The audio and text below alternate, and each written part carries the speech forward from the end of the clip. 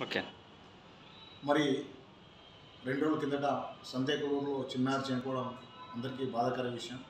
మరి ఈ డివిజన్లో కూడా ఎక్కడ కూడా మరో సంఘటన ఈ విధంగా జరగకున్నట్ల మన ఆదోళన ఉన్నటువంటి ట్రక్ ఇన్స్పెక్టర్ కావచ్చు ఆపై ఉన్న అధికారులు కావచ్చు మరి ఈ ఘటన ఆర్ఎంపీలు వాళ్ళ విధానాలు ఏ విధంగా ఉన్నాయి వాళ్ళ ట్రీట్మెంట్ ఏ విధంగా ఉన్నాయని చెప్పి ఒకసారి వాళ్ళని తనిఖీలు చేసి ఏ విధంగా చేస్తున్నారని చెప్పి చూసినట్లయితే మరొక ఘటన ఇలాంటివి జరిగినట్లుంటుంది.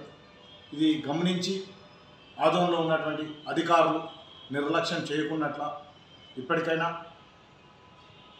ఆర్ఎంపీ ఎవరైతే ఉన్నారో వాళ్ళ ట్రీట్మెంటు మరియు వాళ్ళకు ఉన్నటువంటి అర్హతలను ప్రతి ఒక్కరు కూడా ఉన్నటువంటి అధికారులు గుర్తించి మరొక ఘటనను ఎక్కడా కూడా ఈ మన కేవలం మన డివిజనే కాదు మన జిల్లానే కాదు.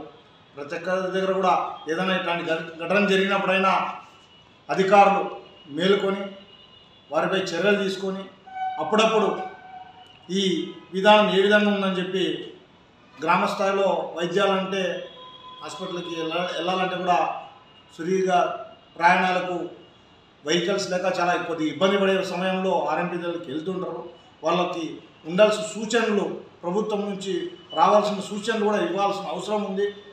కాబట్టి ఈ ఘటనని జరిగినందుకు చాలా బాధపడుతూ మరో ఘటన జరగకున్నట్ల అధికారులు చర్యలు తీసుకొని అక్కడక్కడ చర్యలు ఒక ఇంటి వితౌట్ ఇంపినేషన్తో వెళ్ళి సడన్గా అది తనిఖీలు చేసి చూసినట్లయితే మరి బాగుంటుందని చెప్పి అధికారులకి వినాయించుకుంటున్నాం డిమాండ్ చేస్తున్నాం. లేకపోతే మరిన్ని ఘటనలు జరిగే అవకాశాలు ఉంటాయని చెప్పి అధికారులు తెలియజేస్తున్నారు